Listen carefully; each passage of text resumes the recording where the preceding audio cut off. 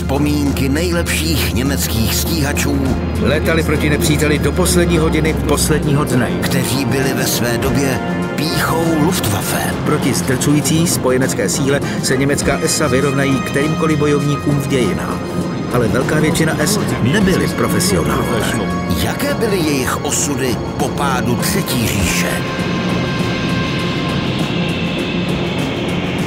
Stíhací ESA Luftwaffe. V pátek ve 20 hodin na CS History.